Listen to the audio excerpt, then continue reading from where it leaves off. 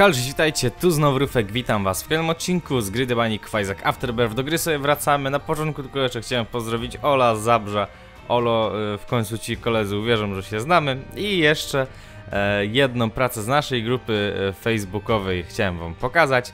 E, to jest praca Oli Piątek, tak, mam nadzieję, że się nie pomyliłem. Praca Oli Piątek przedstawiającą e, Lilith miałem już dawno rzucić, e, jakoś zapominałem po prostu, tak jakoś po prostu wyszło. E, ale praca bardzo ładna, wielkie dzięki za to Ola. Jak wy chcecie swoje prace wrzucać na naszą grupę facebookową, to oczywiście wchodźcie, ale najpierw czytajcie regulamin. A dziś sobie zagramy, tak sobie myślałem, że może zagram dzisiaj Judasem. Judasem chyba grałem nawet ostatnio. E, tutaj macie Sida. Natomiast Judasem ja po prostu bardzo lubię grać. On ma ten swój modyfikator na obrażenia kosmiczny. Nie wiem, chyba z 50% więcej obrażeń zadaje. Albo 25%? Nie, chyba 25%. Cóż za piguła? Up, świetnie! Jedna z lepszych piguł, która mogłaby nam się trafić na start. Chociaż na, na Judasie najlepszą pigułą to chyba e, mimo wszystko byłaby piguła Health Up. Piguła Health Up, no to mimo wszystko na Judasie robi swoje. Judas zaczyna, zaczyna tylko z jednym czerwonym serduszkiem, także czym prędzej jakiegoś HP upa chciałbym dostać, albo chociaż Soul Heart, żeby mógł jakikolwiek przedmiot na drugim piętrze w Devil Roomie wziąć, bo no mówię, bez HP upa ani żadnych Soul Heartów, no nie będę po prostu w stanie tego zrobić. O, widzicie, Soul Heart mamy, świetnie. E, to jest słaby przedmiot, ale no, cóż, cóż, weźmiemy go. Spider Baby, nic ciekawego. Chyba jak otrzymamy obrażenia, to pojawimy pająki, no nie wiem sam nawet dokładnie jak to działa, także no mówię, słaby przedmiot ogólnie. Super, bomba rozwaliła kamień z X-em, także darmowe kolejny Soul Heart. Ja wam w ogóle przypominam, jak lubicie... E, oj, o, jak lubicie ogólnie Isaaca, e, serię z Isaaca, to możecie zostawić łapkę w górę, tak mnie wesprzeć. E, ojej, jak to się wchodzi w mapę, tabulatorem. Nie mam chyba jak dotrzeć do tego kamienia z X-em, szkoda, jakbym miał kurcze latanie, kolejny kamień z X-em mógłbym rozwalić, a to byłby już chyba, o Jezu, Ragman to zdecydowanie używamy Book of Belly, ale nienawidzę tego bossa. Um, to już byłby chyba trzeci kamień z X-em na tym piętrze do rozwalenia, a nie, drugi, bo jednego Solharta dostałem tak po prostu po pokoju. To jest mega rzadkie, ale się zdarzyło. Wooden Spoon, bardzo fajna, bardzo fajny przedmiot. e, Ale wiecie co, bardzo się zastanawiam, czy czasem nie pójść sobie do Curse Roomu. Ja mam dwa Soul Hearty i wiecie co, pójdę do tego Curse Roomu mimo wszystko. Wydaje mi się, że może to się opłacać. No nie wiem, zobaczymy. A, ty mi nic nie zrobisz. Jeden solar, no wyszliśmy na zero, także kompletnie nic się nie stało, a zawsze przynajmniej mówię. Była szansa na to, że coś z tego mm, Devil Roomu byśmy wzięli. Jakiego Devil Roomu? Co ja gadam? Curse Roomu. E, Coś z tego Curse Roomu byśmy mogli sobie wziąć, jakby było. Masa często przedmiotów e, z Devil Roomu się tam może pojawić. Curse of the Blind naprawdę. Najgorsze piętro na stanie Curse of the Blind to jest piętro numer dwa właśnie. Ponieważ na piętrze numer dwa e, oczywiście mamy Treasure Room. E, mamy sklep gwarantowany, w sensie w sklepie nie może być grid, także na pewno coś tam będzie do kupienia. E, I mamy jeszcze zazwyczaj oczywiście, jeśli nie otrzymamy obrażeń na czerwone serduszka, gwarantowany Devil Room. Także, no mówię, to jest chyba najgorsze piętro, na którym moglibyśmy dostać Curse of the Blind, e, ponieważ mamy po prostu taką, tak dużo możliwości na otrzymanie różnych przedmiotów. Najgorsze jest to, że po prostu nie będziemy widzieć przedmiotu z Devil Roomu. A ja chciałbym sobie jakiś przedmiot z Devil Roomu wziąć. Jeżeli to będzie jakiś przedmiot za mm, dwa serduszka, to zdecydowanie go biorę. Mm, ale się teraz poważnie zastanawiam, czy wziąłbym e, na pewno jakiś przedmiot po prostu za jedno czerwone serduszko, ponieważ jest masa przedmiotów beznadziejnych w Devil Roomie za jedno czerwone serduszko. Masa jest dobrych, ale no mówię, dużo jest słabych. Em, nie wiem dokładnie jak się nazywa ten przedmiot, em, który sprawia, że jak nam zdrowie spadnie do półczerwonego serduszka, to zadajemy obrażenia wszystkim przeciwnikom w pokoju. Missing page, coś tam może nie wiem sam. Nie, no serio, nie, nie potrafię sobie przypomnieć jak ten przedmiot się nazywa. To ja mamy kamień z X-em. Super, kolejny Soulheart. Mam w ogóle nadzieję, że dzisiejszy odcinek nie jest za głośno. E, wczorajszy odcinek, wczorajszy. Capricorn, świetny! Znak Zodiaku, najlepszy prawdopodobnie. All stats up na wszystkie statystyki. Super. E, bardzo fajnie, że na e, piętrze z Crest nam się trafiło. E, wracając, e, mm, przedwczorajszy odcinek, który nagrywałem, od przedwczorajszego odcinka oczywiście nagrywam e, tym nowym programem, jak już tłumaczyłem. E, ciutkę wydawało mi się, że mogło być za cicho. Nie było źle, ale mimo wszystko troszkę podgłosiłem grę. Mam nadzieję, że dzisiaj e, za głośno nie będzie. A jak będzie to Na następnym odcinku już będzie dobrze, bo ustawię po prostu pomiędzy tymi dwoma poziomami. Mamy walkę z monstro. Monstro jest dosyć prosty, także nawet na niego nie będę zużywał Book of Belial. Mm, ponieważ jest szansa na to, że w Devil Roomie trafi nam się Krampus, a na Krampusa no zdecydowanie bardziej wolałbym sobie zatrzymać e, ładunek naszym Book of Belial. Krampus jest po prostu znacznie trudniejszym bossem jak monstro, poza tym i tak mamy tak dobre statystyki, że walka z monstrem to jest no, nic e, trudnego. Mamy dwa przedmioty i wiecie co? Mam dwa czerwone serduszka, ten Capricorn nam dał HP upa, także wezmę sobie oba. Dark Matter, fajnie, bo to jest damage up i tak bym go wziął. Cambion Conception, no to jest przedmiot taki dyskusyjny. Nie jest to nic złego, natomiast nie jest jakiś przedmiot specjalnie dobry. Wiecie co, ja na tym piętrze dłużej raczej nie zostaję, lecimy sobie na kolejne. No i mam nadzieję, że jakiegoś kolejnego HP upa dostanę, żeby mógł kolejny devil, e, przedmiot z Devil mu wziąć. Catacombs 1. Czy ja chcę wchodzić do Classroom mając tak mało zdrowia? Nie wiem, na razie nie. Y, najwyżej sobie po prostu wrócimy. O czymś mówimy? A, o tym Camion Conception. Camion Conception jest takim przedmiotem właśnie e, dyskusyjnym, e, ponieważ on sam z siebie nic nie robi na starcie. To jest kolejny team świetnie. Ojej, ale super. E, no on sam z siebie nic nie robi. E, jeśli czegoś my nie zrobimy, niestety, żeby on coś robił, my musimy otrzymać obrażenia. I to tych obrażeń całkiem sporo musimy otrzymać. Ja takich przedmiotów nie lubię. On co prawda, no, może nam pojawić bardzo fajne przedmioty. Może nam pojawić Dark Bama, może nam pojawić y, Inkubusa, co by w ogóle byłoby szokiem. Inkubus to byłby najlepszy prawdopodobnie familiar, którego Kamion Conception nam może pojawić. E, może nam jeszcze z takich dobrych Sukubusa przywołać. E, ale no niestety też może przywołać takie słabe familiary, jak na przykład tą taką czarną pijawę. No, Mówię, taki przedmiot średni jest. Niedobry, nie słaby. Po prostu jest i tyle. Cóż to za karta? Two of Spades. Y, Two of Spades się może nam przydać. E, podwoi nam liczbę kluczy, jak nie mamy żadnych kluczy, to nam daje dwa klucze. Jak na razie to się kompletnie nie używa, nie opłaca używać. Nigdy nie używajcie um, two of coś tam, gdy macie jedną znajdźkę, po prostu dam wam, je, dam wam tą jedną znajdźkę. Lepiej ją zużyć i mając zero da nam po prostu dwie te znajdźki. Eee, wiedziałem, że to otrzymam wrażenia. No nie, nie lubię strasznie tego pokoju. Może nie tyle pokoju, co tych przeciwników. Są strasznie e, nieprzewidywalni. Ja nie lubię nieprzewidywalnych przeciwników, ale tak naprawdę nikt nie lubi nieprzewidywalnych przeciwników. Wiecie co? Ominę sobie ten przedmiot. E, on by nam zwiększył tirsy o jeszcze jeden. Natomiast zmniejszyłby nam zasięg do zasięgu minimalnego. Także no, wolę po prostu number one'a nie brać. Jakbym miał tirsy standardowe, prawdopodobnie bym go wziął. To jest przedmiot bardzo ofensywny, bo no tak jak mówiłem, zwiększa nam tirsy na maksymalne. W naszym przypadku tirsy maksymalne to prawdopodobnie 5. Tak jak widzicie na tej statystyce mamy teraz 6. Eee, ale no mówię, zwiększa nam te tirsy na maksa, natomiast e, zasięg nam zmniejsza do minimum. Bardzo ofensywny przedmiot, e, ryzykowny dosyć. Ja ja wolę nie ryzykować, strasznie słabo, że otrzymałem tutaj obrażenia. Dobrze, nie wszedłem do classroomu. Teraz zdecydowanie przydałby nam się jakiś HP up. Nie byłbym w stanie po prostu wziąć żadnego przedmiotu z Devil Roomu, jeśli nie byłby to przedmiot dający mi po prostu zdrowie albo dodatkowe życie, jak na przykład Dead Cat. Fajnie by było, jakbyśmy dostali jakiegoś, e, na przykład, jak się nazywa ten przedmiot, dając nam damage up, tears up i dwa soul heart. Chyba pakt? Jezus, sam zapominam po prostu. Mark byłby spoko też. No jest trochę tych przedmiotów, natomiast żeby się akurat e, taki przedmiot trafił, no to trzeba się o to postarać. My na pewno nie dostaniemy e, HP upu. HP upa, nie wiem jak się powinno odmieniać. Ponieważ walczymy, e, walczymy z jeźdźcem apokalipsy, dostaniemy Cube of, Meat, Cube of Meat bądź też Ball of Bandages, dostaliśmy Ball of Bandages. A tu mamy walkę z Krampusem. Nawet się cieszę, wiecie co? Walka z Krampusem ogólnie to nic fajnego zazwyczaj jest. E, szczególnie jeśli dostaniemy głowę Krampusa. Głowa Krampusa to jest słaby przedmiot. No dobra, nie.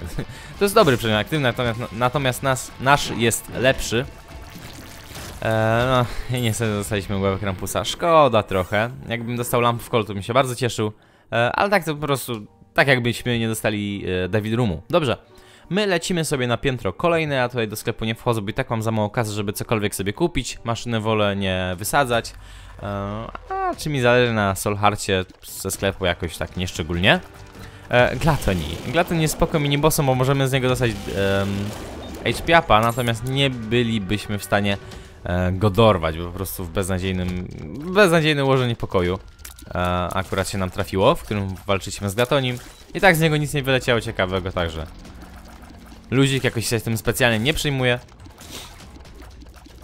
Strasznie mi się coś trudno dzisiaj idzie wysłowić. Nie wiem dlaczego. Jak miał tak sucho w gardle. Normalnie się napił wodę, natomiast mi się woda skończyła, nie mam co normalnie pić tutaj. I tak się trochę seplenie, mam nadzieję, że tak już specjalnie dzisiaj nie przeszkadza. Złote bomby, fajnie byłoby je dostać, natomiast no, prawdopodobnie ich nie dostaniemy, bo kolejne głupie ułożenie pokoju, niestety. Jakbym miał złote bomby, to bym oczywiście e, sprawdzał każdą ścianę i prawdopodobnie weszlibyśmy do obu secret roomów. No, ale niestety mamy tylko jedną bombę, także ryzykować nie będę, chyba że no naprawdę e, będzie pokój pomiędzy czterema pokojami, który, do którego będzie wejście z każdej strony. Wtedy to jest pewniak na Secret Room, natomiast w innym wypadku tego prawdopodobnie nie zrobię i tak się raczej nie stanie. To jest kolejny Tears Up. I wolę zużyć bombę na Tears Upa kolejnego. Mamy 5, czyli najlepsze Tearsy jakie moglibyśmy prawdopodobnie dostać. E, kolejne Tears nie będą działać. Jedynie przedmioty w stylu Pisces, yy, no pojedyncze takie przedmioty serio będą nam cokolwiek dawały. Uuu. Za darmo do pokoju z kluczami chyba. Awas, nic ciekawego. Deigas, fajnie, to jest Soulheart. Hagalas, nic ciekawego. Awas, Crawlspace może nam otworzy? Naprawdę otworzył Crawlspace. Tak dawno to się nie działo. Tak rzadko to się dzieje. To jest Black Market. Kurczę, bez sensu. Ja nie mam zdrowia na Black Market. Natomiast nie ma w nim i tak nic ciekawego, także kompletnie możemy to olać. Ale ciekawie, że nam się Black Market trafił. Strasznie dawno Black Market po prostu nie widziałem. Ale fajnie też, że tutaj dostaliśmy się za darmo za pomocą tego telepis. E, nie będę drugiego telepis używał natomiast. Jakoś nie widzę sensu. Chyba, że... Nie, dobrze, wezmę telepis drugie. Jest na niedobre użycie. Dosyć szybko nam idzie ogólnie e, całe to podejście. A wiecie co, wejdę może Solhard? Będzie, jest Solhard, świetnie. Steam Sale jest i Stopwatch. Ach, nie mam bomb i tak, dobrze, nie mam czym się przejmować. Biorę Solharta i stąd spadam. E, Telepis ma jedno dobre użycie. Nam idzie dosyć szybko to podejście, także prawdopodobnie zdążymy pokonać matkę przed 20 minutą, przed końcem 20 minuty. Um, dzięki temu moglibyśmy sobie wejść do um, boss rusha? Na boss rush e, wziąć jakiś przedmiot i po prostu sobie stamtąd wyjść. Darmowy klucz, bardzo spoko. E, treasure mamy. Tak naprawdę nie wiem co w tym treasure roomie chciałbym dostać. No tutaj mówiłem, ten e, HP up bardzo by nam się przydał teraz. Monstrous Lang, bardzo nie, dawno nie widziałem tego przedmiotu, bardzo fajny przedmiot. Trochę żeśmy stracili e, tych e, tears upów. E, to, jakie mamy tirsy aktualnie, no to, to nie jest e, jakby to samo, e, jak te tirsy mieliśmy wcześniej. W sensie wtedy mieliśmy najlepsze tirsy możliwe. Biorąc teraz Monster Slug, mamy tirsy dobre, ale nie te najlepsze możliwe jakby. Mam nadzieję, że zrozumieliście o co mi chodzi. E, my lecimy sobie na walkę z bossem. A bossem jest Hollow, bardzo łatwy ogólnie boss. Jeden z łatwiejszych bossów w grze tak naprawdę. Czasem się nawet potrafi trafić Um, złota wersja Hollow, z którego leci nam... E, o, co to jest? Relax. No zastrzeliśmy się, ok. Z którego leci nam masa monet, także naprawdę, bo jest bardzo spoko. My lecimy sobie na kolejne piętro. E, I to jest już piętro, którym będziemy mieć... Nie, to jeszcze nie jest piętro z walką z matką. Jeszcze e, dwa piętra. To i jeszcze jedno piętro. Ogólnie jest strasznie późno, jak to nagrywam. Nie jestem jakoś... niewyspany nawet. E, ponieważ spałem strasznie długo w dzień, tak się źle czułem ogólnie, już myślałem, że nic nie będę nagrywał, ale się trochę lepiej poczułem, także e, zacząłem nagrywać, ale nagrałem to strasznie późno, nie nawet dlatego powodu, że się zacząłem i spałem głównie w dzień, tylko dlatego powodu, że tak, że tak ostatnio po prostu maniaczę w Wiedźmina, to jest tak świetna gra, kupiłem sobie Wiedźmina um, wersję gry roku, nie grałem w Wiedźmina nigdy, aż do tygodnia, po prostu tydzień e, temu zacząłem grać Wiedźmina, kupiłem sobie go. E, no i się tak wciągnąłem, a się aż dziwię, że tak się w to wciągnąłem. Kiedyś uwielbiałem gry RPG. Mm, ostatnio jakoś właśnie tak mi średnio podchodziły. Myślałem, że właśnie Wiedźmin będzie kolejną grą, która mi tak, raczej hype nie podejdzie mi. Ale nie, naprawdę jest dobrą grą. Jak ktoś nie grał, polecam. Szczególnie tą wersję roku, która teraz wyszła, jest dosyć tania, jak na grę z takimi możliwościami, z tyloma dodatkami w ogóle. W ogóle nasz trinket jest dosyć ciekawym trinketem. E, To jest kolejny taki e, przedmiot w stylu da nam coś tylko, gdy będzie nam szło źle. Natomiast oczywiście znacznie bardziej wolę mieć taki trinket, który nam pomoże, gdy będzie szło źle, niż e, żaden trinket. E, Monkey Po chyba nam daje jednego Black Hearta za każdym razem, gdy nasze zdrowie spadnie do pół e, serduszka. E, I on tego Black Hearta daje do trzech razy. Po trzech razach Monkey Paw po prostu znika. Także jak nie macie żadnego trinketu, nawet spoko. W kryzysowej sytuacji nam może uratować dupę po prostu. Fajne też jest jako takie niby zwiększenie maksymalnej ilości zdrowia, no bo więcej jak 12 serduszek mieć nie możemy, natomiast możemy mieć 11,5 serduszka i na jakiejś tam walce po prostu pod sam koniec, oj oj oj oj oj oj, bardzo niefajny pokój, pod sam koniec nam może zwiększyć zdrowie ten Monkey Spawn. To jest zmienianie przeciwników chyba, tak, nic ciekawego, słaba kostka dla mnie, nigdy jej nie używam, eee. Olewamy sobie, wejdźmy sobie jeszcze do sklepu, może nam się trafi grid, nawet spoko by było, bo nie mam nawet dużo kasy, a na następnym piętrze e, moglibyśmy sobie coś kupić, nie ma grida, natomiast jest e, baterii, baterie jest kompletnie nieprzydatne, kupię sobie Soul Hearta i po prostu stąd wyjdę. Mając tyle Soul Heartów, no to będzie niebezpieczne wziąć cokolwiek z Devil Roomu, natomiast no, będę w stanie coś wziąć i będę na jakimś tam jeszcze poziomie zdrowia, będę miał półtora e, Soul Hearta, Zawsze to lepiej niż mieć pół Soul- Soul Hearta. E, A wiecie co? A nie, nie, nie, dobrze. Myślałem, że mam 6 bomb, zapomniałem, że mam 6 kluczy. Jakbym miał 6 bomb, to z chęcią bym oba te ognie niebieskie po prostu wysadził. E, mamy walkę z Lokim. Loki to jest jeden z prostszych bossów w grze raczej. E, tak naprawdę najtrudniejszą e, częścią walki z Lokim jest e, ten kolec taki latający. E, Super Bandit, świetnie, jest HP up razy 2, w sensie HP up taki e, daje nam czerwone serduszko oraz chyba dwa Soul Hearty. Z tymi dwoma Soul Heartami mogę się mylić. Na pewno jeden. E, Dead Hearta zdecydowanie bierzemy, bo tak naprawdę nic nas nie kosztuje. Mamy jedną trzecią przemianę w Gapiego i 9 żyć. Lecimy sobie na kolejne piętro.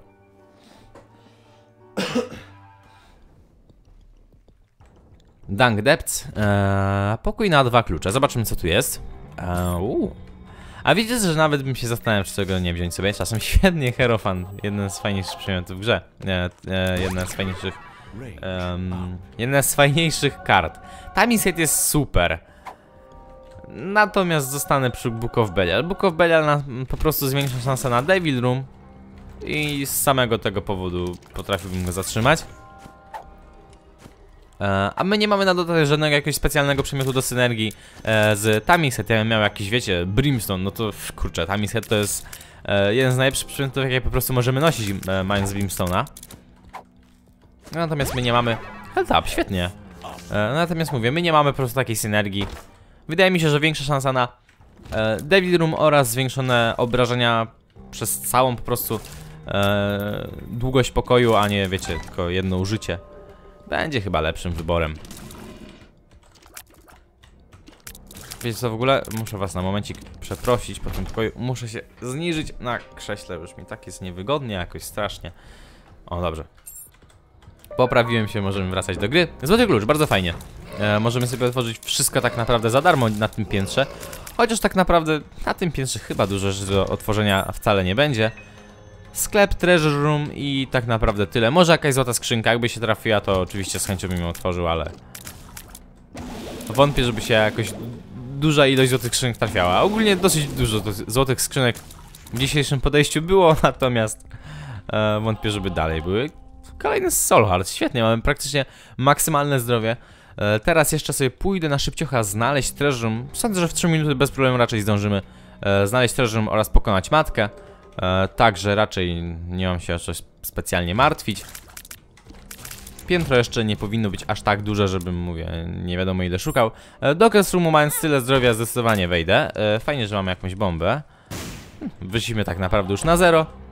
O, wyszliśmy na zero. Tak naprawdę na minus, bo straciliśmy trochę e, czasu, ale nic specjalnego się nie stało. Kluczyk sobie bierzemy. No i tak naprawdę jedyna nam droga została do Treasure Roomu, także już powinno pójść z górki.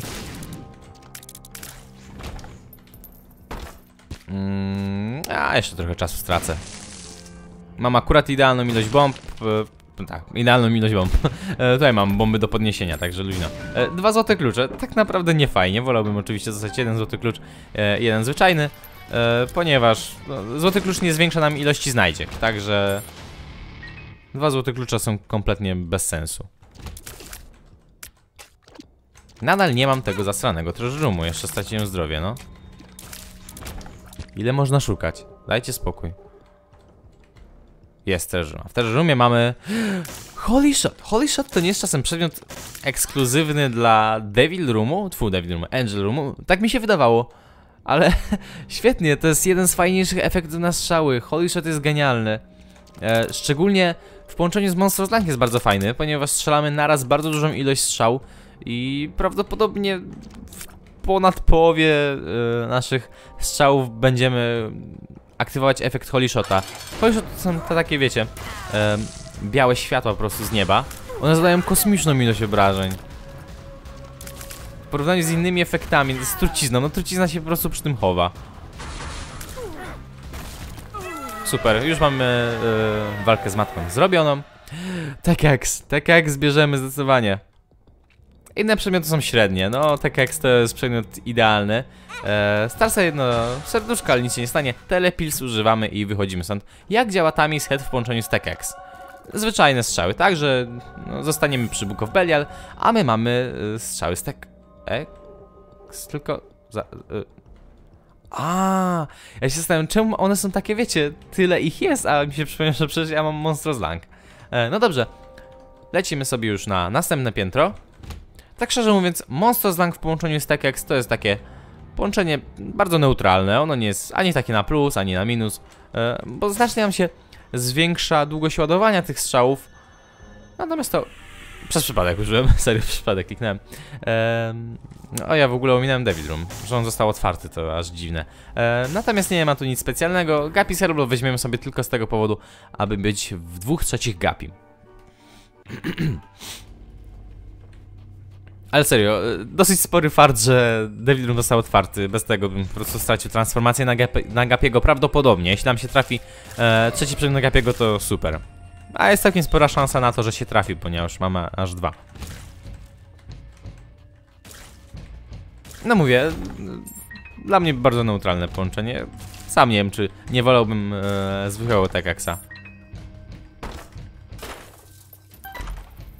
Świetnie. Latanie oraz e, HP up na następnym piętrze w postaci po prostu Eternal Hearta. E, a tutaj mamy Addicted. Addicted to jest bardzo fajna, niefajna piguła na piętrach przedłąb.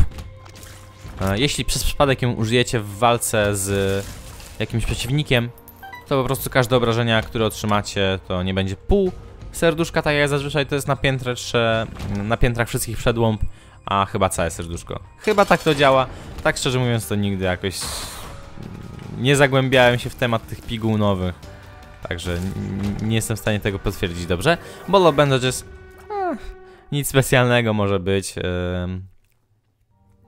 Mamy teraz Orbitala, który jeszcze strzela. No mówię, to jest kompletnie nam nie, nieprzydatne, także tak jakbyśmy walki z bossem tak naprawdę nie mieli. No ja, ale sam to wszedłem jak idiota. Range up. Range up nam nic nie daje, bo i tak mamy zasięg maksymalny. Mając Tech X. Dawno Tech X w ogóle nie miałem. Ostatnio nam się trafił Brimstone, co było po prostu... Aż się sam zdziwiłem. Tak dawno Brimstona nie miałem. Brimstona miałem, nie miałem zdecydowanie dużo jak Tech X. E, trafił nam się nóż na dodatek w jednym podejściu. Natomiast Tech X no dawno już nie miałem. Wiecie co, jeszcze kolejnego HP upa wezmę. Ostatnio właśnie jest, jestem Trzymam się tej reguły, że do czterech e, czerwonych serduszek opłaca się brać HP upy. Później, no tak już. To jest kwestia sporna. Ja jestem raczej zdania, że powyżej czterech czerwonych serduszek no po prostu nie opłaca się mieć.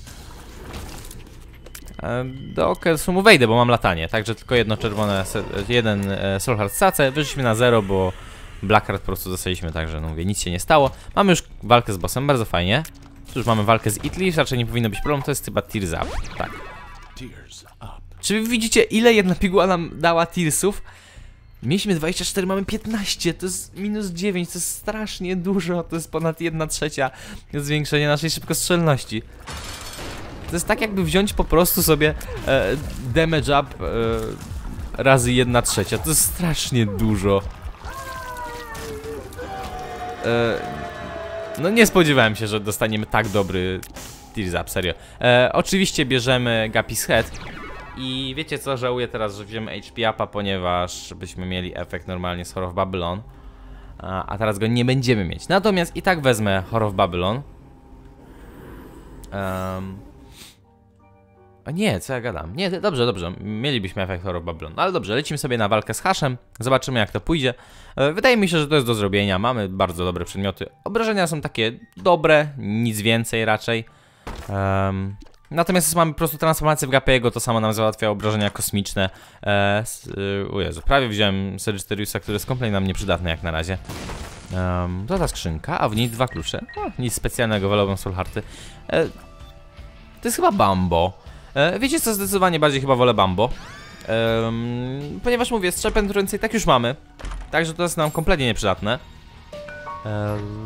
Speed up y, z Sagittariusa byłby ok, natomiast to też nic specjalnego raczej nie jest. E, Head of the Keeper nie wiem jak działa tak jak chyba nadal pojawiałem z y, monety. Także spoko, szybciej nam się Bambo rozwinie. Chariota bierzemy ze sobą i tak naprawdę to jest tyle. E, resztę kasy może wpłacę i no, mówię, spadam na walkę z Hashem. Chyba nic już e, tak naprawdę nie ma do roboty. Bambo postaram się oddawać wszystkie coiny, ale prawdopodobnie o tym będę zapominał, bo ja często o tym zapominam. E, kamienia z X-em w tym pokoju nie mamy, natomiast z tego pokoju wezmę sobie e, oczywiście Smartfly. Smartfly to jest po prostu orbital, ale chyba jak otrzymam obrażenia, to on zaczyna latać i atakować przeciwników i nie jest już orbitalem. Nie wiem dokładnie jak to działa. Zdecydowanie lepsze jak przedmiot aktywny, którego i tak byśmy nie używali. Ale tak jak pojawia to jest... To jest świetna sprawa, serio. Jej, no tak jak to jest tak super przedmiot. On się ogólnie często dosyć trafia. Muszę przyznać, że on nie jest przedmiotem, który jest dosyć rzadki dla mnie. Natomiast za każdym razem jak się trafia, to ja po prostu cieszę się tak samo mocno. Jak nóż czasem się nam trafiał zbyt często, to pamiętam, że już byłem takiego przekonania, że no nie, no nie biorę go, już bez przesady, za dużo razy on się pojawia. E, nie ma ciekawych synergii, on nie jest dobry, nóż nadal jest moim prawdopodobnie naj, najbardziej ulubionym przedmiotem w grze. E, natomiast tak jak ma coś sobie to coś. To takie połączenie noża i normalnie brimstone'a. Jest mega mocne. Praktycznie zawsze ma z czymś dobrą synergię. No, no serio, ech. Tak jak uwielbiam. Mam nadzieję, że jesteśmy tutaj bezpieczni. E, I wiecie co? To jest prawdopodobnie najszybsza walka z Hashem, którą miałem. Nie licząc oczywiście e, walk, gdzie używałem Chaos Card. Natomiast chyba serio to była najszybsza walka z Hashem, e, jaką ogólnie w życiu miałem. Strasznie szybko to poszło. Przez nim chyba minutę nawet nie walczyłem. Czekam tylko aż ktoś normalnie w komentarzu wyliczy dokładnie ile sekund z nim walczyłem. Coina wziąłem, wiem o tym. Bambo, powinienem to zostawić. Jakieś coiny? Jeden coin. Dwa, o! Bambo czym prędzej się rozwinie, tym no, tak naprawdę stanie się w ogóle użyteczny. Na razie jest bezużyteczny. Oczywiście Bambo ma ten swój minus, że stawia te bomby, natomiast sądzę, że jakoś sobie dam radę, szczególnie gdy latam i raczej nie będę miał problemu, e, aby ich uniknąć. Cóż to za piguła? Speed up, świetnie. Dostaliśmy naszego speed upa, którego minąłem nie biorąc Sagittariusa. Tak naprawdę właśnie ten taki speed, który mamy teraz jest chyba idealny. Bo ten maksymalny no, to już jest delikatna przesada. Ale cóż to, AWAS. Kolejny może, nie wiem, przejście? A, tu już nie ma przejścia, okej. No ten maksymalny to jest może delikatna przesada, no ale to jest spoko, bardziej lubię mieć maksymalnego speeda e, podstawowego. Natomiast mówię, e, takie 1.8 to idealna harmonia normalnie. Mamy i tak się strasznie szybko poruszamy, ale no ale zatrzymujemy taką, wiecie, kontrolę po prostu nad tym, jak się ruszamy. Jedynka, jedynka nie wiem co robi. Wiecie co, przepraszam was na momencie, wejdę sobie na stronę Platinum Gat i sprawdzę tam po prostu, co robi jedynka. Jedynka zmienia wszystkie moje przedmioty. O nie, nie, nie. E, to oczywiście e, tak się nie bawimy. Przedmioty mam zbyt dobre, żeby je zmieniać. Nawet nie staram się wziąć tych skrzynek na przykład, e, bo można je wziąć nie dotykając e, kostki, natomiast no mówię, wolę nie ryzykować dotknięcia. Kolejny klucz bardzo fajnie przyda nam się na D-Chess. Lecimy na walkę z Isaaciem. Sądzę, że raczej bez problemu to pójdzie. E, e, tak. Isaac się długo podtrzymał. Lecimy na D-Chest. Ej, ale serio, no... Ta walka z Haszem cały czas mi siedzi w głowie, jak to szybko poszło. Gówno, gówno, fajne, gówno. Yy, Spoonbender sprawia, że mamy jedno z najlepszych podejść ogólnie w Isaacu, jaki można dostać. Zodiak da nam osoby jakiś znak Zodiaku. Yy, tak jak w połączeniu ze strzałami yy, samonaprowadzającymi jest tak dobre jak Brimstone normalnie w połączeniu ze strzałami samonaprowadzającymi. No, uuu, o kurde. No, czy ja każde podejście muszę mieć tak dobre?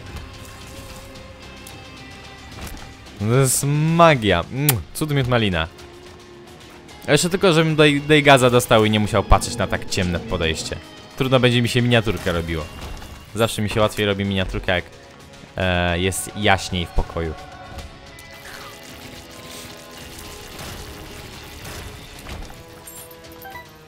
Wziąłem coina Bambo, nie chciałem coina Bambo wziąć, e, bo Bambo ogólnie też fajnie działa, że za te coiny można pojawiać skrzynki. Jak skrzynki na tym piętrze chyba wszyscy już wiedzą od dawna, że oznaczają po prostu darmowe przedmioty.